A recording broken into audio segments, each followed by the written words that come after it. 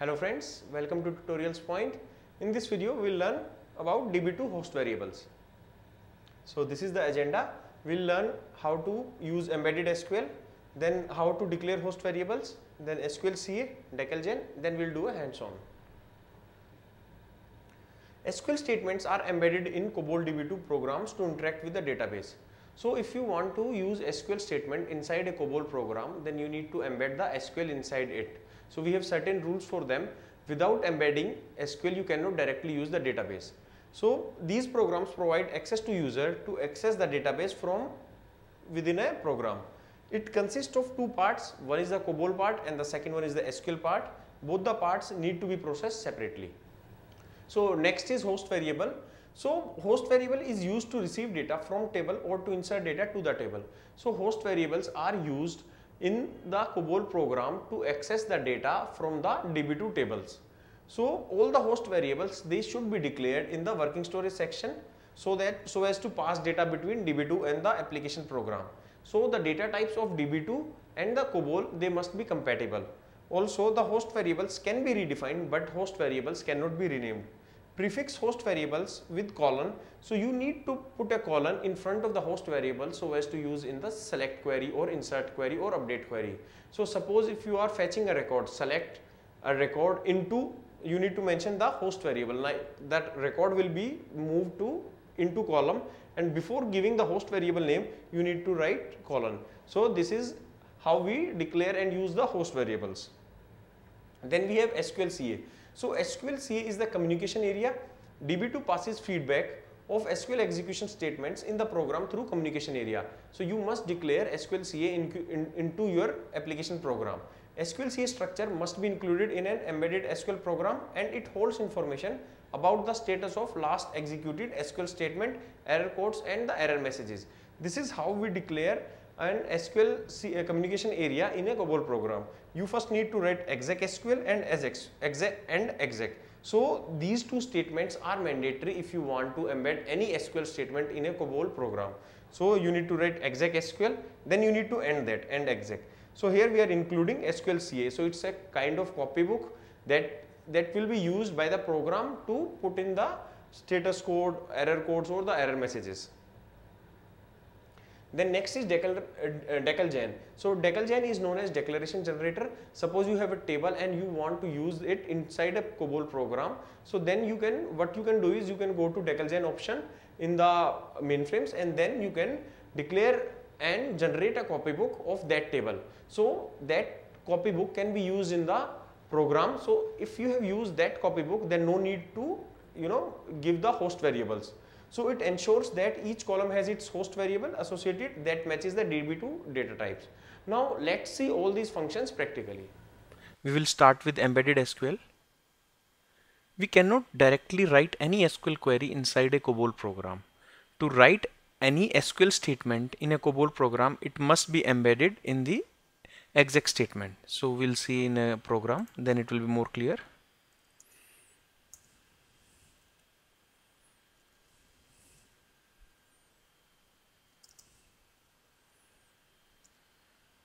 Open the PDS do a reset. Okay this is identification division. Then we have data division. In data division we write our SQL communication area we write declaration generator and we write all the SQL related statements. Only the executables they come under procedure division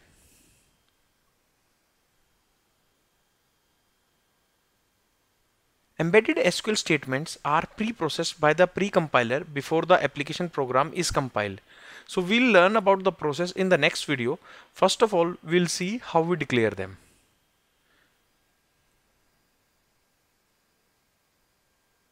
Embedded SQL syntax is almost same as the SQL syntax used in the interactive mode.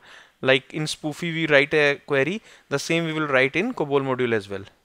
The output of the query is directed to a predefined set of variables instead of the terminal and the variables are defined in the host language and are referred to as host variables. In select query we have an additional into clause also. So first we will start with SQL communication area. So this is just commented. So our main processing starts from here. For a second I'm ignoring the above part. Exec SQL and exec. All the SQL statements must be written in exec SQL and and exec. So inside this we are including the copybook of SQL CA. So SQL CA is a SQL communication area. So this is the communication area through which DB2 passes the feedback of SQL execution to the program. So now I will see you when you include this what exactly will be copied into your program at the runtime. If you include SQL CA all these all these data elements will be copied to your main program. So first of all we'll discuss the important ones here this is SQL code when you submit a query you get an SQL code in SPUFI. Similarly once you execute any query all the values SQL code they will be stored in SQL code. So here if it is 0 then it is successful. If it is positive then it is exceptional condition. And if it is negative the value inside SQL code then it's a failure. The next is SQL error message. So here you can see 49 level L and C. So this is the SQL error message length and this is the error message text. So in this part the text will be stored and in this part the length of the error message will be stored. Then we have SQL state SQL state value is a 5 character value consisting of the class code and the subclass code. The class code indicates the type of error and the subclass code indicates the explicit error within the error type. Every SQL statement in the program should be followed by a test on either the SQL code or the SQL state. Like if we executed a query, we can put a check. If the SQL code is 0, then only the next processing should happen and if it is no other than 0 then the processing sh uh, should stop there itself then we have other elements like SQL warn so it contains W if any other SQL warn field is to be set to W so then we have SQL EERP so it contains the name of csect that detected the error reported by the SQL code. So these are not much useful. We'll be basically using SQL code and SQL state. Now the next is declaration generator.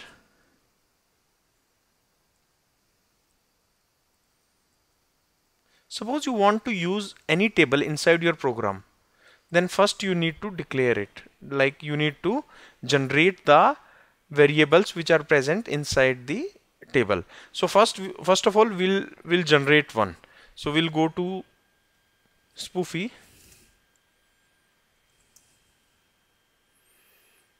go to 15 db2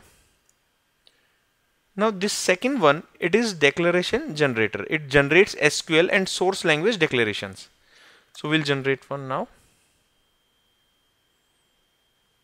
Here you can see our table name TP stud which we have created in our previous video.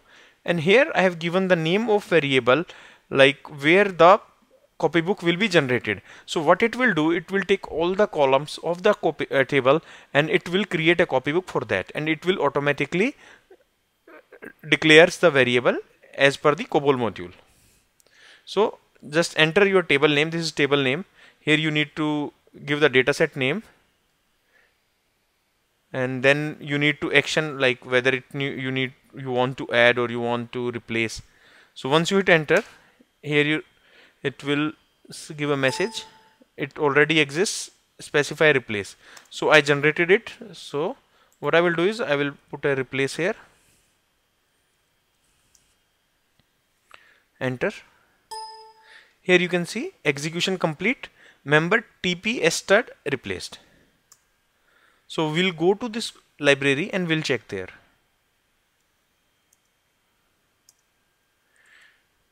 In the copybook I have mentioned the path. I will open this. Just open this. Here this is system generated one so no chances of error here you can see exec SQL declare table stud ID stud name student subject and end exec so these are the decimal character and this so how it, it, it is declared in COBOL so it is declared here DCL TP stud then 10th is stud ID it is given S9 of 2 then student name x of 10 and it automatically given it. Also we can do this in our uh, COBOL module itself in the host variables. So we'll go to our COBOL module.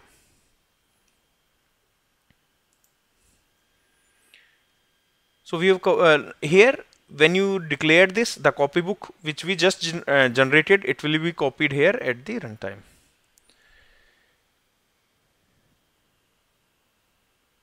so just now you have seen like the decimal was converted into S9 of 2 V uses comp of 3 similarly you cannot directly use DB2 data types into COBOL data types. So you can convert them. So here we'll start with numeric. Numeric Z is any number. So you can convert it into S9 of Z V uses is comp of 3 so if you want to convert integer then if you have declared in the table as integer data type and if you want to use that variable in our COBOL then you need to write s9 of 9 comp then we have small int s9 of 4 comp then we have character that is similar to x only just mention the same number here. Then varchar it is divided into two parts. First is the length part and second is the text part. In s9 of 4 uses comp the length will be stored and in x of whatever the number is z the text part will be stored. Then we have numeric z of y. Here z is before the decimal and y is after the decimal. So it is used in COBOL as s9 of z v9 of y uses comp of 3 then we have date x of 10 and for time we give x of 8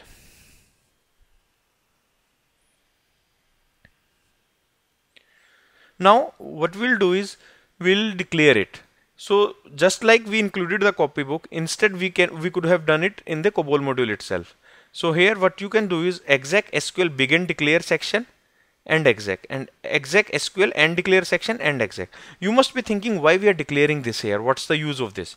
So when you see this query, select stud ID, stud name into WS stud ID, WS stud name. Here you can see these two columns. So you cannot directly move into your working storage variable. The output of the query must be stored in the host variables which must be declared inside this exec SQL begin declare section and exec SQL end declare section. So these variables can be used inside a select query or an insert query and you must write colon in front of it to use it inside the program. So here we have declared the host variables. Then in the procedure division, you write all the executables. Like this is an executable query.